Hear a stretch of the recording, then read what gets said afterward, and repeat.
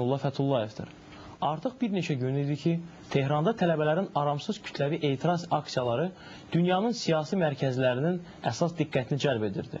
Bugün sizinlə birlikdə regionumuzda xüsusi geosiyasi əhəmiyyət kəsb edən İran dövlətində baş vermiş son hadisələrə nəzər salmağa, Tehran Kənyanmenini doğuran əsas səbəblərini arayıb üzə çıxarmağa cəhd edəcəyik. Artıq İranda baş vermiş ixtişaşlara öz münasibətini açıqlayan diplomatımız Vəfa Quluzadə yeni bir demarşla çıxış etdi. O hesab edir ki, güya bu hadisələr məhz İran rejiminin siyasətinin nəticəsidir. Quluzadədən fərqli olaraq bütöv Azərbaycan Birliyinin başqanı Əbülfəz Elçibəy isə dolayısıyla bu hadisələri İranda güya ki, vüsət ala biləcək milli azadlıq hərəkatı ilə bağladı. Mətbuatımız da əsasən tələblə, tələbələrin üsyanını Cənubi Azərbaycan mövzusu ilə bağlamağa çalışdı. Bəs İran olaylarına Cənubi Azərbaycanın Milli Azadlıq Hərəkatı adı ilə respublikamızda fəaliyyət göstərən rəhbəri Piruz Dilənçi nə münasibət göstərir? Burada teokratik rejimə qarşı liberal islahatçı qüvvələrin mübarizəsini və yaxud başqa səbəb axtarmaq lazımdırmı? Beləliklə, studiyamızın bugünkü qonağı Piruz Dilənçidir. Siz də söhbətimizə qoşulun. Telefonlarımız 97 72 70 97 72 71-dir. Axşamınız xeyir Piruz müəllim, xoş gəlmisiniz studiyamıza.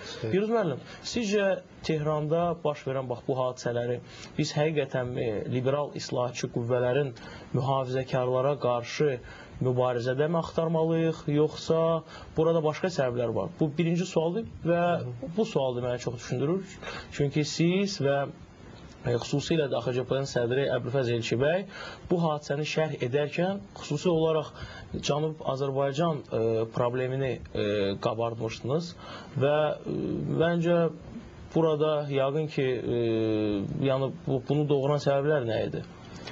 Əlbəttə, e, mən hər şeydən əvvəl axşamınız xeyir deyirəm sizə. Axşamınız e, bugünkü İranda baş verən bu olayları ilk növbədə ümum İran hərəkatı kimi də adlandırmaq olar və bunun daha köklü sabiqəsi tarixi vardı. Yəni hələ e, Günəş ili tarixi ilə 1357-ci ildə İranda İslam inqilabı qələbə çaldıqdan sonra və bir, bir il ondan sonra qurulmuş o molla rejimi, İranda totalitar molla rejimi artıq özünün e, nə dərəcədə bir e, terrorizm bir dövlət olduğunu göstərməyə başladı və həmin ilk e, ikinci qurulduğu, həmin dövlətin qurulduğu ikinci ildə, yəni 1358-ci günəş ili ilə e, birinci terror aksiyalarını İran öz daxilindən başladılar. Bunlar yəni ümum İran hərəkatına bir az da hələ o vaxt, yəni təxminən 20 il bundan öncə bir az da milli formaya salmaq istəyən e, İrandakı türkmənlərin liderləri, dörd liderlərini o vaxt öldürdülər bunları çox Hı -hı. belə dəhşətli bir şəkildə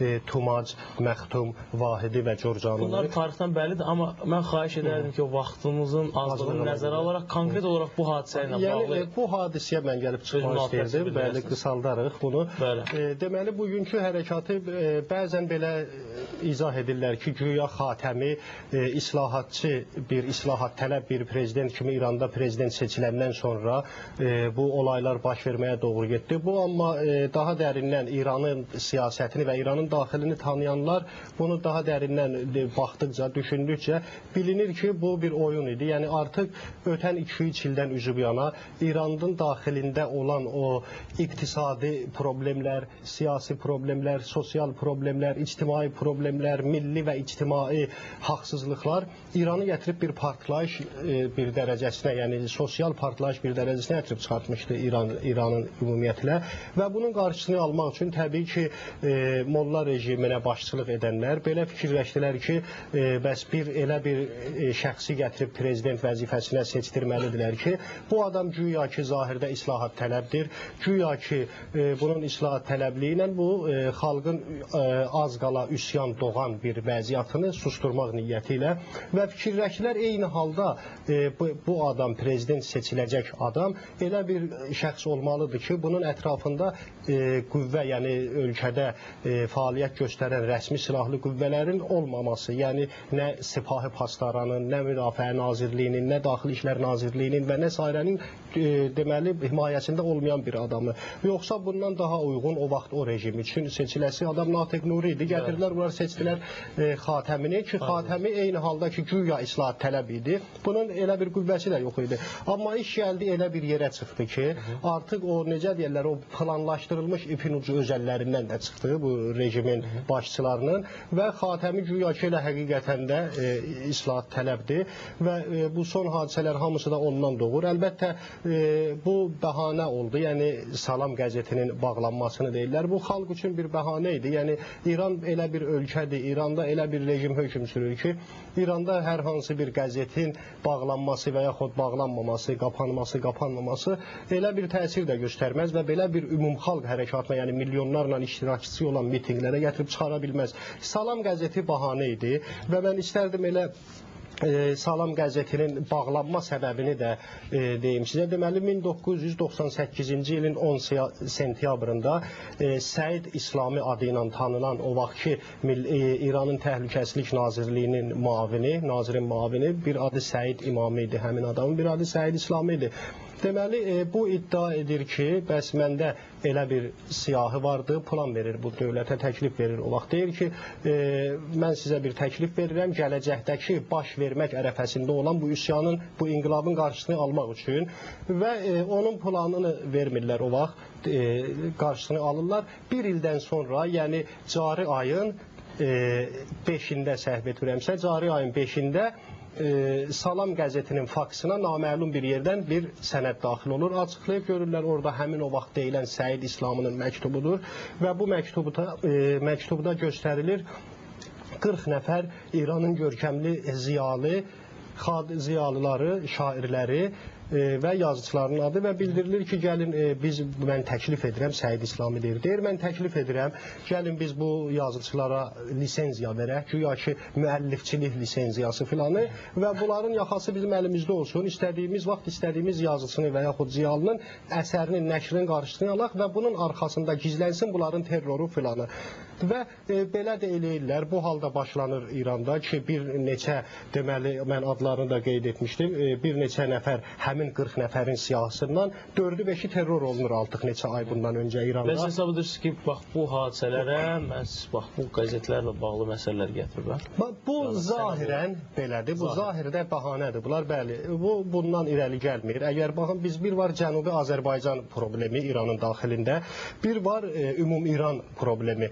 Biz e, ümum İran problemini nəzərə alaraqsa, əgər yəni əgər e, cari ayın 7-sində Tehranda baş verən çox iştirakçısı olan mitinqi nəzərə alsaq və yaxud ondan sonra bu genişlənib vüsət tapıb böyük şəhərlərə, Məşəd kimi, İsfahan kimi şəhərlərə vüsət tapmasını nəzərə alsaq, bunlar xalqın o ictimai, sosial zülmlərə dözmədiyini, azadlıq təşnəsi olduğunu göstərir. Amma bu hal bilirsiniz Təbrizdə də artıq çox geniş halda baş verir. Bu isə başqa bir mövzunun məbhəsidir. Aydındır, üzr istəyirəm studiyamızda Beləliklə studiyamızın bugünkü qonağı Cənubi Azərbaycan Milli Azadlıq Hərəkatının rəhbəri rəhbəri Piruz Dilənçidir. Piruz bəy, e, yeri gəlmişkən İran hökuməti tələbələrin o irəli sürdüyü tələbləri ədalətli və haqlı tələblər kimi qəbul etdi və səhv etmirəmsə artıq e, Tehranda son günlər e, deməli vəziyyət biraz soğuşub. Bəs Təbrizdə vəziyyət necədir? Yəni sizin bu haqqda məlumatınız var? Əlbəttə son məlumatlar vardı bizdə. Bilirsiniz, mən e, birinci belə vurğulaya bilərdim ki, tələbələrin tələbləri e, tamam başqa şeylərdir. Açıqlanıbdı 7 tələb son günlər içər irəli sürüblər tələbələr. E, mən onları izah edeyim sizə icazə versəz. Biri budur ki, deməli e, bu dəqiqə bu e, mühafizəkarları silahla, zorla himayə edən Niruye Zeddə Şureş və Niruye Entizami deyilən, yəni anti-qiyam qüvvələrin e, deməli rəhbərlərinin işdən azad olunmasını tələb ediblər. Tələbələr bu birinci Tehran tələbələri. İkinci həmin qüvvələrin e, rəhbərləri azad olduqdan sonra onların da İranın Daxili İşlər Nazirliyinin tabeiyətinə tapşırılması. Üçüncü yenə həmin e, mühafiz, mühafizəkarları himayə edən başqa qurumlar da vardı. Ənsarullah, Ənsarı Hizbullah və Bəsic kimi güc qüvvələri var, silah qüvvəli, silahlı qüvvələr var və bildiriblər ki, bu silahlı qüvvələrdə fəaliyyət göstərən şəxslər dövlət orqanlarından azad olunsun, işdən buraxılsın bunlar. Dördüncüsü deməli e, mitinqin ilk gecəsində, yəni cari ayın 7-sində mitinqin ilk gecəsində cinayət törədən dövlət başçılarının hamısının cinayət işinə cəlb olunması və açıq-aşkar ümumxalq içində məhkəməsinin keçirilməsi. Deməli 5-ci öldürülənlərin, şəhid olan tələbələrin cənazələrinin öz ailələrinə təhvil verilməsi. 6-cısı isə şərəf və ya ləyaqətlərinin vəhşicəsinə tapdalanmış tələbələrin hüquqlarının müdafiəsi və bərpa olunması. 7-cisi isə e, son günlər qapadılmış Salam qəzetinin yenidən nəşrə buraxılması. Bu tələbləri irəli sürüblər.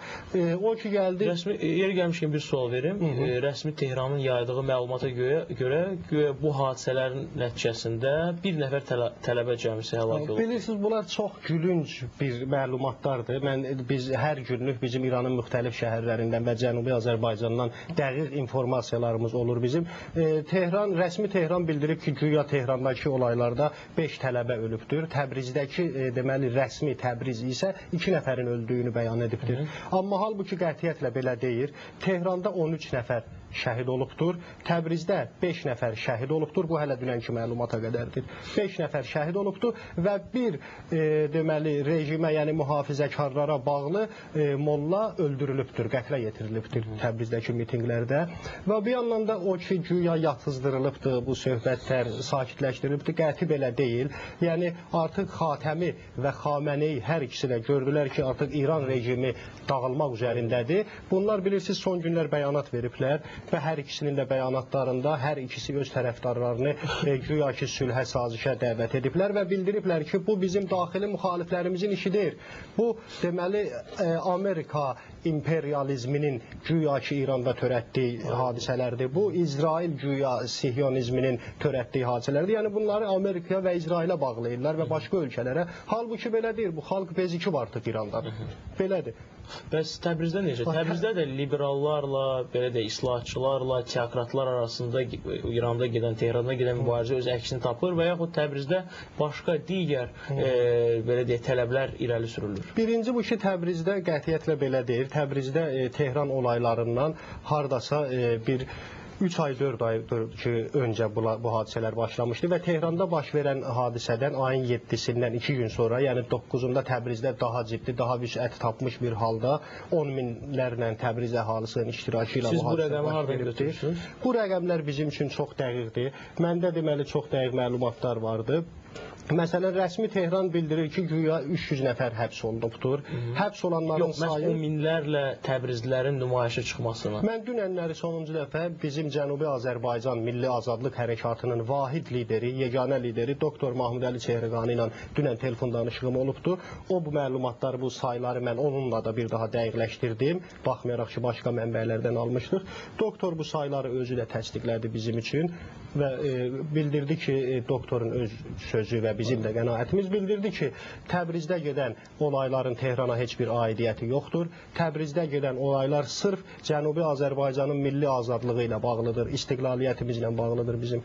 Yaxşı, deməli sizin belə deyək, Cənubi Azərbaycanın milli azadlıq hərəkatı istiqlaliyyətlə nəticələnməlidir. Yəni siz istiqlaliyyəti, milli istiqlaliyyəti özünüzün əsas başlıca məqsədiniz hesab edirsiniz. Əlbəttə bilirsiniz mən üzr istəyirəm qısa bir cümlə deməli biz hesab edirik ki, böyük Azərbaycanımızın şimalda olan kiçik kiçik hissəsi artıq əcnəbilərin işğalından azad olubdur və e, Azərbaycanımızın cənubda olan böyük hissəsi bu gün İran adlanan o qondarma və e, o coğrafiyai ərazidə yerləşən bizim Cənubi Azərbaycanımızda mütləq farsların əsarətindən işğalından azad olunmalıdır və biz inanırıq ki, biz elə bu əsrdə ona nail də olacağıq. Axı İran dövlətinin minillik tarixi var.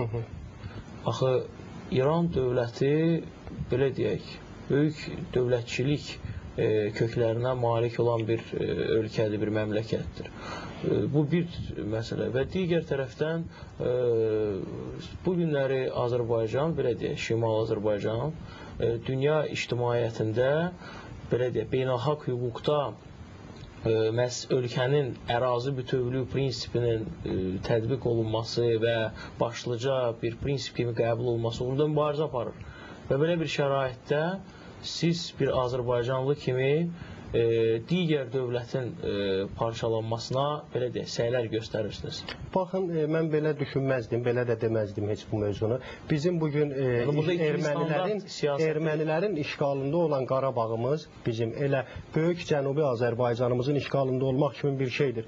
Yəni əgər biz ərazi bütövlüyü hansısa bir dövlətin ərazi bütövlüyünü düşünürüksə, heç İran adlanan siz dediyiniz kimin ki güya bunun e, böyük tarixi var filan, e, tarixdə ilk öncə İran adlanan bir dövlət yox imiş. Buna hələ o vaxtlar Məmalik-i Məhrusə deyirmişlər. Sonralar İran adı verilir bu buna. tarixdir. Tarixdir, indi də yəni Bu yerində bizim peşəmiz tapmalıdır. deyil, yəni ki, tarixçilər bunu bizdən yaxşı biz tədqiq İranın edir. ərazi bütövlüyünə üzr istəyirəm. Qəsd etmək istəmirik. Biz Cənubi Azərbaycanımızı bugünkü İranın e, işğalından, əsarətindən azad etmək istəyirik. Və artıq bunu biz demirik. Bunu 30 milyon Cənubi Azərbaycanlı türk deyir. Bunu bu gün Təbrizdə 10 minlərlə mitinqə çıxan insanlar bir sual verim.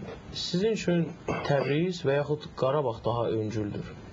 Bir Azərbaycanlı kimi. Bilirsiniz, e, təbii ki, bunların hər ikisi də bizim gözümüzdür. İstər Təbriz, istər Qarabağ. Amma mən həmişə bu sözü özümə rəhbər tuturam. Bizim çox hörmət bəslədiyimiz hörmətli Əbülfəz Elçibəy cənablarının bu cümləsini mən şəxsən özümə rəhbər tuturam ki, Əbülfəz Elçibəy deyir, Qarabağın azadlığının yolu Təbrizdən keçir. Baxın, mən elə bilirəm bizim bu milli liderimiz bunu çox da düzgün Yəni deyir. siz həqiqətən bu, bu buna inanırsınız? Əlbəttə, əlbəttə. Və bu, Qarabağ sizcə bu məsələsi- gerçəkliyə söykənən fikirdir, hə? Əlbəttə bilirsiniz Qarabağ məsələsi Yəni tarixdə Qarabağı birinci dəfə azad deyil. bilməyən Azərbaycan Hı -hı. İran kimi aparıcı regional fövqəli dövlətlə hərbi münaqişəyə girişib Bilirsiniz Qarabağ Qa- məsələsi qalib qələbə çala bilər. Siz belə düşünürsünüz, hə? Qarabağ məsələsi siz də biz də yaxşı bilirik ki, Bəli. e, böyük dövlətlərin oyunlarının bir sonuncu kimi bir nəticədir Qarabağda gedir və e, Cənubi Azərbaycan məsələsi qətiyyətlə Qarabağla fərqlidir. Bunu Aydın, təşəkkür edirəm. Allah işinizi avan eləsin. Çox Çox, sağ olun, təşəkkür edirəm studiyanıza gəldiyinizə görə. Dilənçinin fikirlərini birlikdə dinlədik. Artıq neçə illərdir ki, xalqımız ovucunu uzadıb dünya sahiblərindən Qarabağı diləyir. Dilənçi, Elkibəy və onlara dəstək verənlər isə Təbrizin həsrətindədir. Qarabağsızlaşmış Azərbaycanın dilənçiləri Təbrizi diləyir. Görünür onlar Qarabağı unutmaq istəyir. Bəs biz necə? Salamat qalın.